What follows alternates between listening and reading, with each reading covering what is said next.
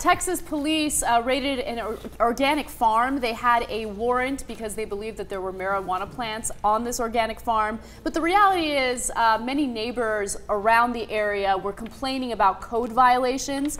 Um, and that's probably the reason why the cops really went in because there was really no indication that there were marijuana plants to begin with. Now, what's amazing about this story is it wasn't just a few cops that showed up and asked some questions. They did a full raid with uh, a SWAT team. They had aerial surveillance, they had a uh, SWAT raid and 10 hour search which is ridiculous. Like, let's say, worst case scenario, they actually do have marijuana on this farm. Oh my God. Like, really? You're gonna send out SWAT to investigate it? You're gonna have like a helicopter circling around the farm?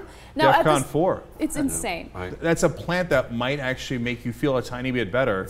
and actually might make you a tiny bit healthier. It's DEFCON 4. How They're dare lucky they. they didn't get nuked. I How wonder, dare uh, uh, so if they, didn't have any indication there was marijuana before? From what I've seen, uh, it doesn't seem like neighbors were complaining about the grass not being cut. And they thought that you know the wood they had like chopped wood in areas where the neighbors were uncomfortable. They're like that doesn't look good. So it was basically neighbors. Chopped wood gets you a SWAT team. Or it? No, wood in the that's- wrong area. That's the whole gist of this story that I want to focus on. Like, we're militarizing our police force, and we are going above and beyond, you know, what we need to to investigate certain situations. If the neighbors didn't like certain things about the farm and they were complaining about it, that's totally legitimate. but this is not something that you do in response to those complaints. Now, police did seize um, a few things from the farm, and I want to list those things for you. 17 blackberry bushes, 15 okra plants, 14 tomatillo plants, and native grasses and sunflowers. Sunflowers? Yeah. Well, that changes everything. yeah, I don't know why. You also, uh, did, do we have a graphic on uh, on what was in the yard? Uh, was in the yes, yard? we Because you didn't mention this. This is why I'd sent SWAT in. All right, so local authorities had cited uh, the Garden of Eden, that's the name of the garden, in recent weeks for code violations, including grass that was too tall, bushes growing too close to the street, a couch and piano in the yard, There was the piano in the yard. Okay. chopped wood uh, that was not properly stacked. Come on, really? A piece of uh, siding that was missing from the side of the uh, house, and generally uncleaned premises. I wonder whether this was a case. Uh, I don't know how big it was. This, this is a small organic farm. I wonder, like, if if if the extent of the response in Arlington was, which is just outside of Dallas, was uh, that, like, if these were like, if somebody was connected, if some of the neighbors were important Oh, people, I see, and yeah. that that sort They of found something. and they and they So it's interesting. called in it shit. I, I've driven around the South a lot, right? And and I see interesting things in the front yard. Uh, old Yeah, cars. Some a lot of times buses for some. They have a whole bus in their front yard. Uh, then uh, laundry, like it, like old washing machines, etc. I don't mean laundry as in the clothes. I mean actually the machines, etc. I've never seen a piano. Never seen No, piano. okay. so that's a step up. Right. New one. And, and, well, apparently you, they know why. Word has gotten around the south. There's a piano outside. You get the SWAT team. Mm-hmm. Yeah, no, Yeah. like, what, what did he think? Like, there might be a young budding Liberace in there with some okra.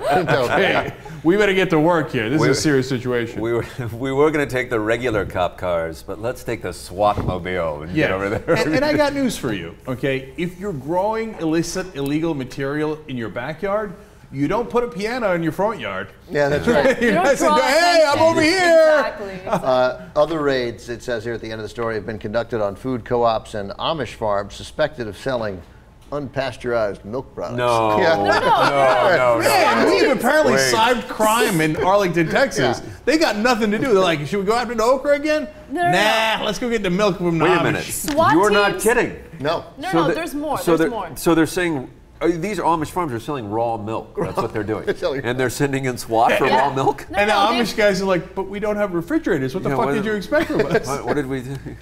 Oh man.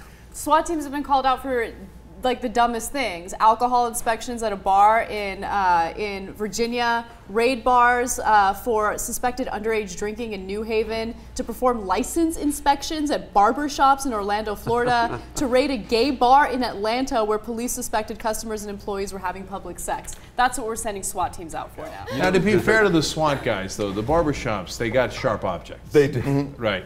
But but to end on a serious point, I mean, look at what Ana said in the beginning: the over militarization and, and the overwhelming force.